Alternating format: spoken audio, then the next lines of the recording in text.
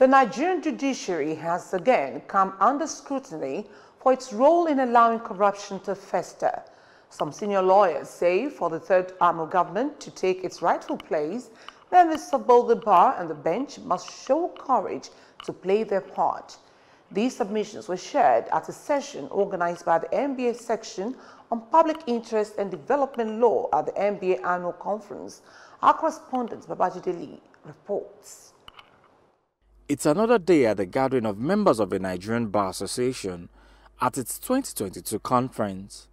This breakout session put together by the section on public interest and development law witnessed some prominent members of the bar who discussed the consequences of undermining the judiciary under the country's democracy. It's not possible for a senior advocate today to have his case in court for five years. No, unless he wants to do so.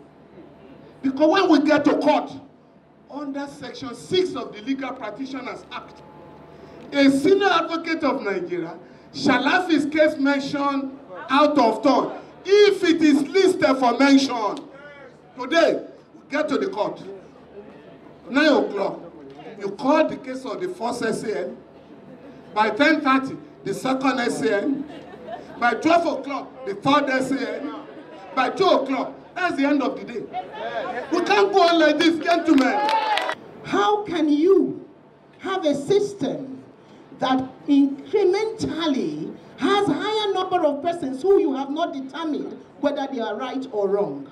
Yet the law says you should deem them innocent until proven otherwise. But they're there, not one day, not two days. They're there some 10 years, 5 years, 8 years, 21 years, 24 years. These are human beings whose lives have been truncated for a time. While some of the panelists accuse the government and politicians of undermining the judiciary, others believe more of the blame should be on the judiciary. My personal thoughts, you know, um, is that the branch of government that undermines the judicial process more in Nigeria is not the executive, it's not the legislature, it's the judicial branch of government. There it takes two to tango. That's right. If the judge does not and the lawyer does not give, then corruption that we talk be in the judiciary. We should wipe out corruption.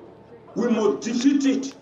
Because before corruption kills you, kills all of us. We must move forward. Not only talking every year, we must now move forward. The prison, the congestion must be real.